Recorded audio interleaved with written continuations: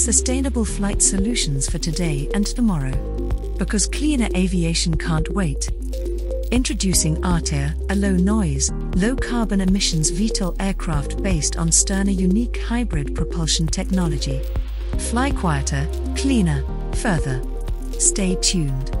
This is Gadgets and Widgets. Ascendance Flight Technologies unveils design of its hybrid electric aircraft and distributed propulsion to develop sustainable air travel solutions. After three years of action for new state of the art sustainable and decarbonized air travel, it is unveiling the design of Atea. Its five seater vertical takeoff and landing aircraft.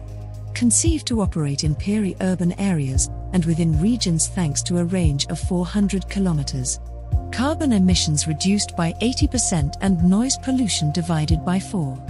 Atea blends sleek and audacious design with unprecedented fan in wing T technology and optimized engine configuration.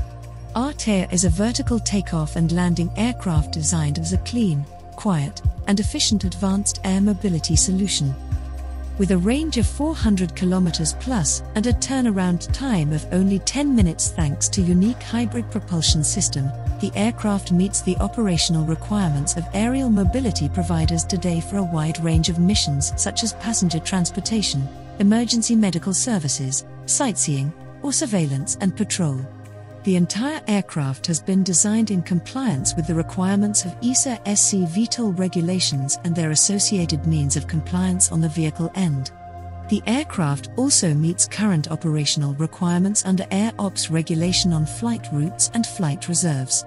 Production is scheduled for 2025.